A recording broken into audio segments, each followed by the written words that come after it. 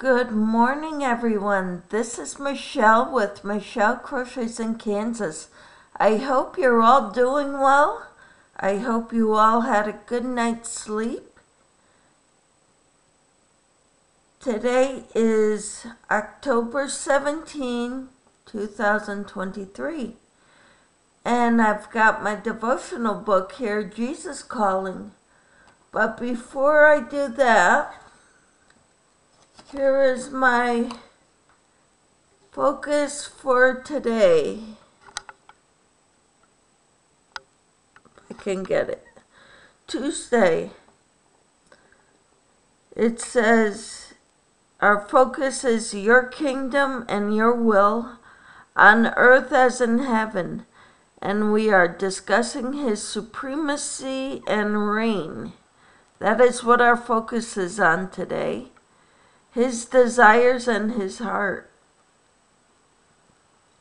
I thank you all for being here to do these devotionals with me, but this is the book that I am writing all the memory verses in.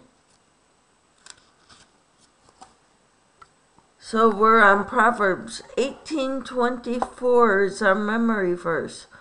One who has unreliable friends soon comes to ruin. But there is a friend who sticks closer than a brother. That is our memory verse. Remember, we will be getting a new memory verse tomorrow during the Bible study at 9 a.m. Central.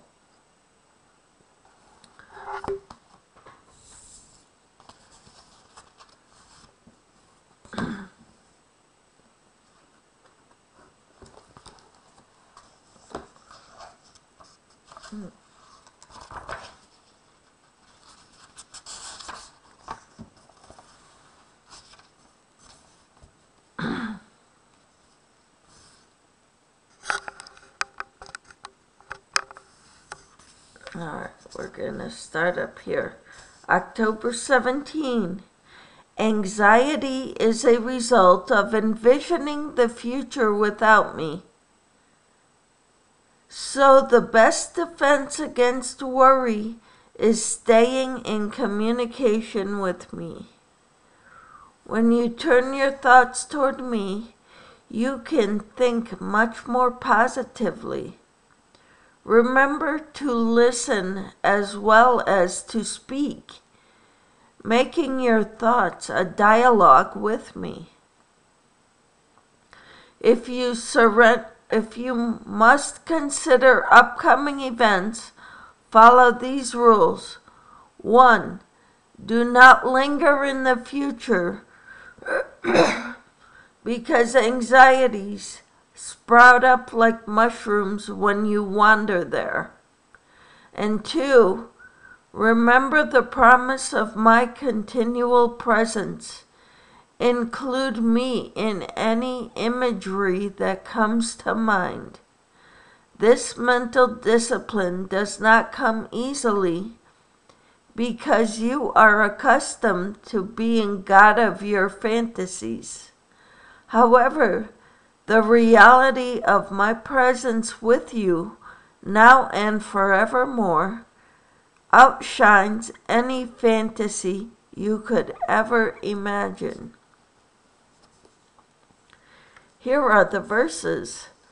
Then, then Jesus said to his disciples, Therefore, if I tell you, do not worry about your life what you will eat, or about your body, what you will wear. Life is more than food, and the body more than clothes. Consider the ravens. They do not sow or reap. They have no storeroom or barn, yet God feeds them. How much more valuable you are than that than birds. Who of you, by worrying, can add a single hour to his life? Since you cannot do this very little thing, why do you worry about the rest? That is Luke chapter 12, verses 22 through 26. now, to him who is able to do immeasurably more than all we ask or imagine, according to his power that is at work within us. To him be glory in the church and in Christ Jesus throughout all generations, forever and ever. Amen. That is Ephesians chapter 3, verses 20 and 21. I thank you, Heavenly Father, for your word. I thank you for these devotionals which point us back to you every day. I thank you, God, for that.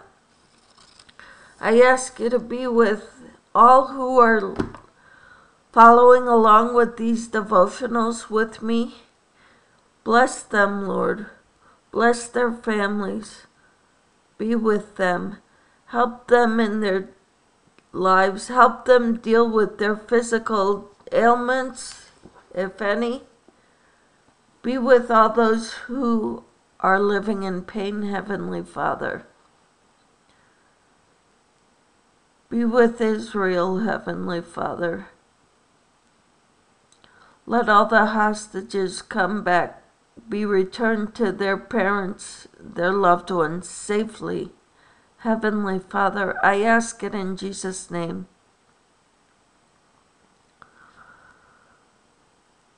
I thank you all for being here. I will not be, uh, I have to make this one short today.